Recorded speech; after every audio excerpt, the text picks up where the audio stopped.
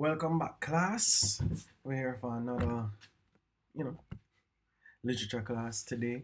Now, we finished up chapter 1 and 2 for My Father, Sun-Sun Johnson. So now we have to move on to chapter 3 and 4.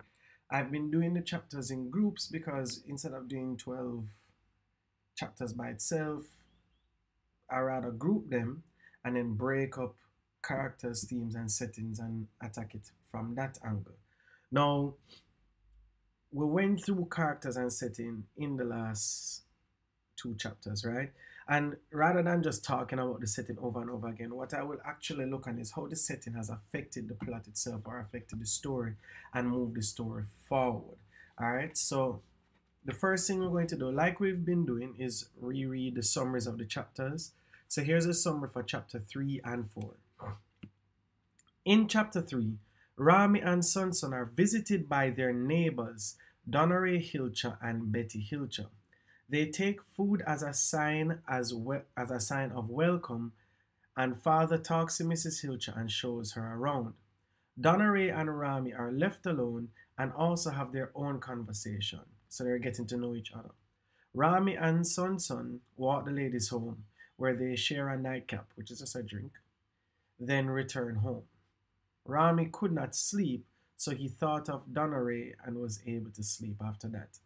So, chapter 3 is called Neighbors, and what we'll find happening here with chapter 3 is after being kicked out of the home that they want to live in, after now being treated poorly by their peers, they are now finding comfort in their neighbors who are now their new close friends. So this is a source of happiness where where they are has made them outcasts and they found somebody that lives close to them that can make them feel comfortable. Chapter 4. Chapter 4 has a really interesting title. It's called Growing. Now, that, that title is actually kind of a pun because one is talking about farm life growing, but it's also talking about Sun-Sun growing as a person. All right. The summary for chapter 4 goes as such. Sun-Sun's farm was very prosperous, and people began visiting it in order to purchase goods. Sun was stern with his bargaining at first, but then he went back to his old ways of giving away his goods. Rami confronted him about it and told him that and told him that the same people who were begging him were buying from Jake. Sun decided to change his ways. He brought home a puppy for Rami, which he called Max. Donaray and Rami became good friends who spent time together, and the farm was extremely prosperous. Sun-Sun and Rami decided that they had to take the produce to market, despite the fact that Rami did not want his father to sell in the market. They decided to sell some goat kids as well. They had a wonderful dinner at the Hilcher's house, where Betty volunteers to sell at the market for Sun-Sun. Son Son was not pleased but agreed to this. Then they went home. Now, as I said, it's a very interesting title because it shows the growth of Sun. It shows him becoming a better businessman, becoming more, how we could say, productive and less weak.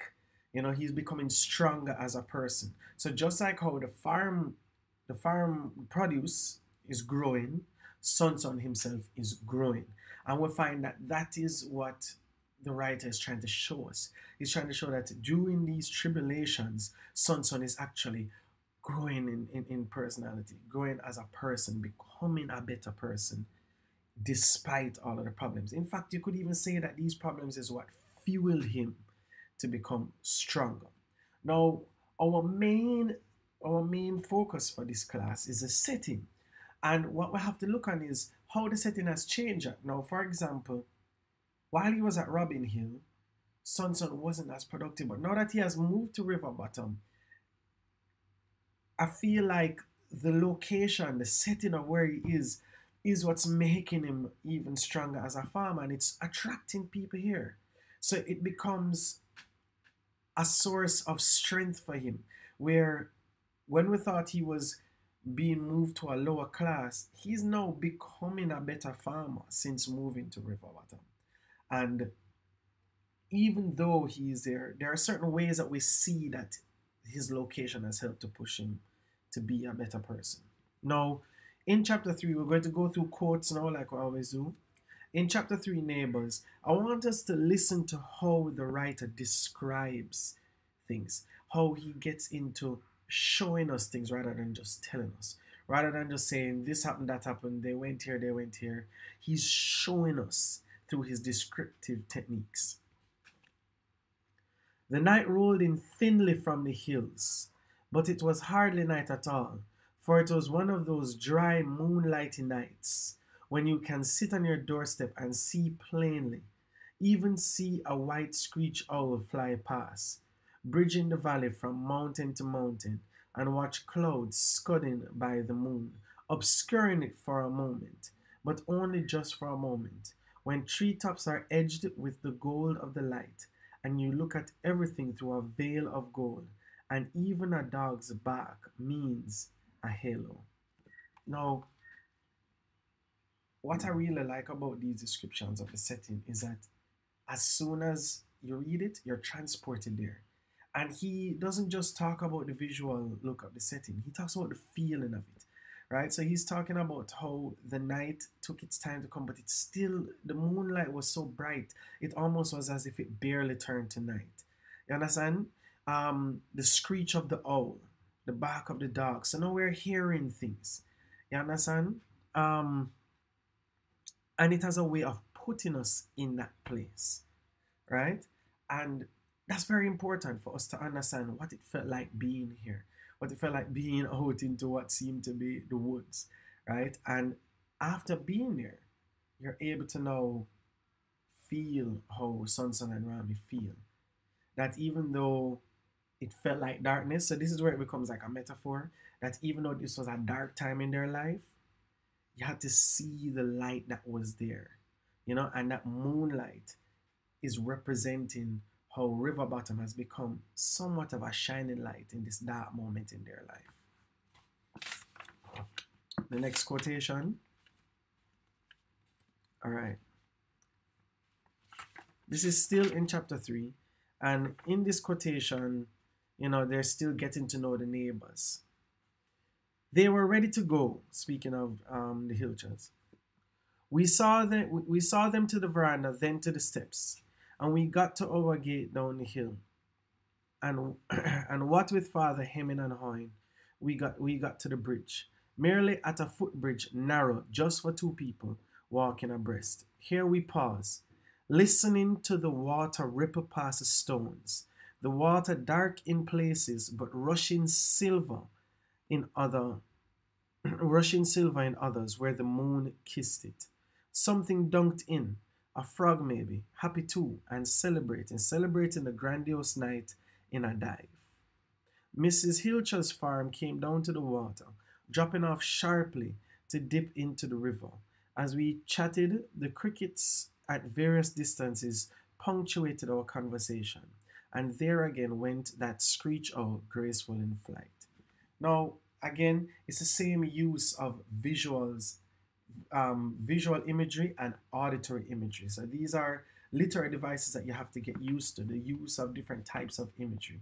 You know, we spoke about that when we did um, poetry, but you have to look on tactile.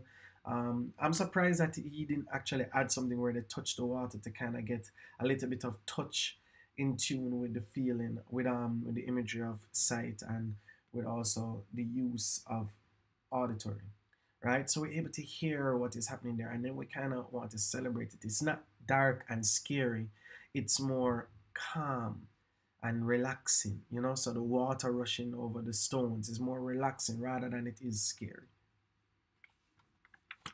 Moving on to a quote from chapter 4 now, which I think is a very good description because what's happening now is he's about to describe the farm and this also puts us into that type of atmosphere which is now about to be their lives. This is oh i remember chapter 4 is called growing. Our vegetable garden was something to be talked about. Giant cabbage leaves ribbed and green and folding into solid balls leafy callaloo, tomatoes already outstanding and still filling out, okras like grounded daggers. Bananas had burst from the ground and with such healthy sheathed leaves. Rolled as they were, the pineapples looked pretty. I kept five goats, two mothers and three kids, and father had Lizette, the mule, and the horse, Marble. Now,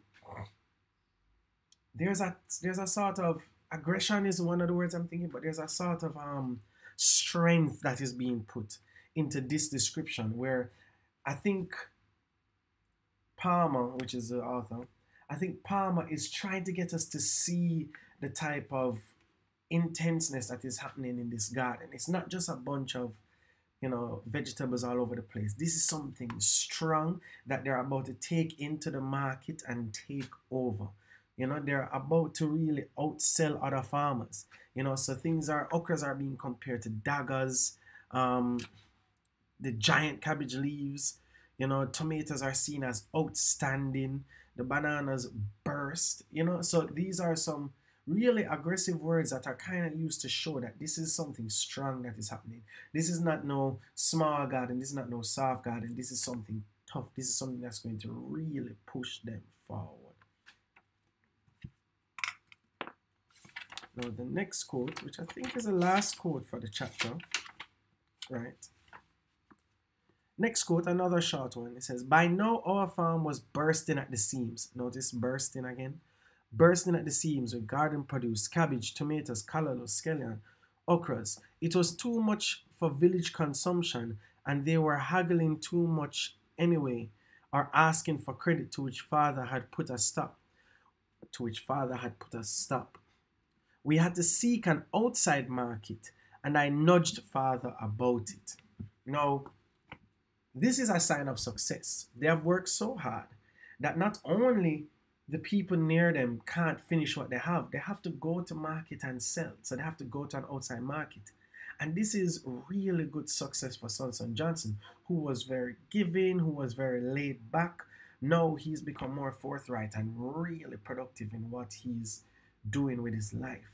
And I think this is a very, very important turning point for Sun-Sun. Hence why the chapter is also called Growing, where Sun-Sun is now growing into a proper businessman, not just a guy who farms, but a successful farmer. And I think a lot of this has to do with the push that Rami gives and the support that he has gotten from the Hilchers.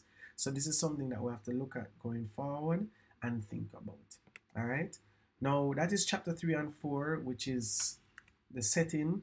Our next class, let me just double check it here to just make sure I get it right.